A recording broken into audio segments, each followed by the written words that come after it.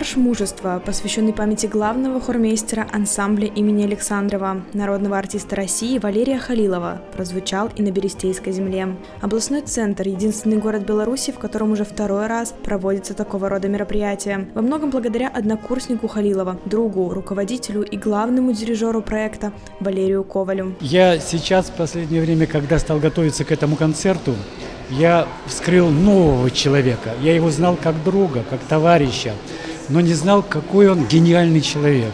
У него написано более ста произведений. Он создатель таких фестивалей необыкновенных. Это Спасская башня, это Амурские волны, это на сопках Манчжурии.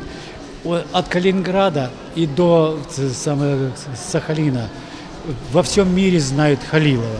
Понимаете? Он достиг высочайшего уровня как э, военнослужащий, как э, командир. Генерал-лейтенант – это высочайшее звание, народный артист. Поэтому это просто гениальный человек. И мне повезло, что я вот с ним дружил, общался. На торжественном вечере прозвучали песни, написанные талантливым композитором Валерием Халиловым, которые на одном дыхании звучали в исполнении четырех оркестров. Городского духового под управлением Валерия Коваля, коллективов 38-й отдельной десантно-штурмовой бригады, краснознаменной пограничной группы имени Дзержинского и оркестра воинской части внутренних войск МВД. Уверена, что это станет большим событием в культурной жизни города и принесет неповторимые впечатления для всех брещан, всех гостей этого проекта.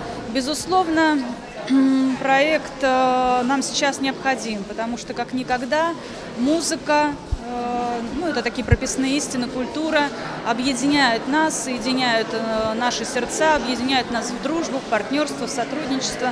И нам очень приятно было поддержать и в этом году инициативу Валерия Борисовича Коваля и присоединиться в качестве соорганизаторов к этому проекту. В течение полутора часов на сцене звучали различные произведения. Военные марши, песни, романсы, в том числе в исполнении солистов. Около десятка композиций исполнил сводный оркестр, когда на сцене находилось порядка 70 музыкантов. Завершился памятный вечер традиционным произведением в символах военных оркестров – маршем «Прощание славянки». Именно этой композицией часто заканчивал свои фестивали Валерий Халилов.